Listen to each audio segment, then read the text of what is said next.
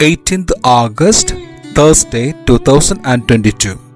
The Gospel passage for our meditation is taken from the Gospel of St. Matthew, chapter 22, verses 1 to 14. At that time, again Jesus spoke to chief priests and elders of the people in a parable, saying, The kingdom of heaven may be compared to a king who gave a wedding feast for his son and sent his servants to call those who were invited to the wedding feast.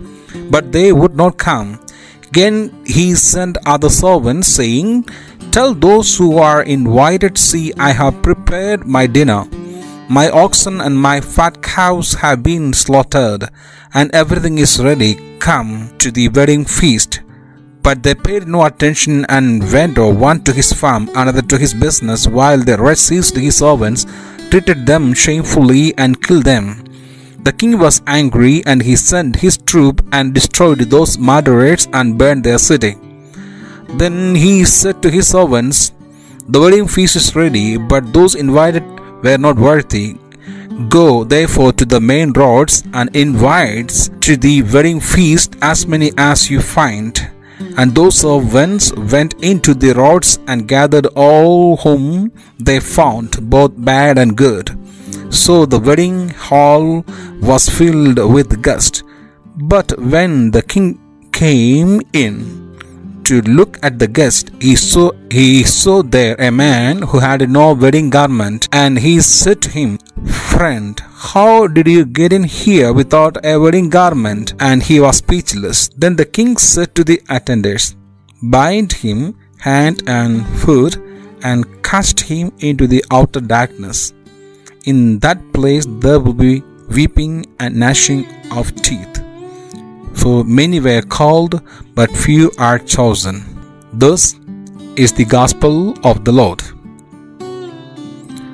What can a royal wedding party tell us about God's kingdom? One of the most beautiful images used in the scripture to depict what heaven is like is the wedding celebration and royal feast given by the king for his newly wed son and bride. Why does Jesus' parable of marriage feast seem to focus on an angry king who ends up punishing those who refuse his invitation and who mistreated his servants? Jesus' parable contains two stories. The first has to do with the original guest invited to the marriage feast. The king had sent out invitations well in advance to the subjects so they would have plenty of time to prepare for coming to the feast. How insulting for the invited guests to then refuse when the time of the first has to do with the original guest invited to the marriage feast.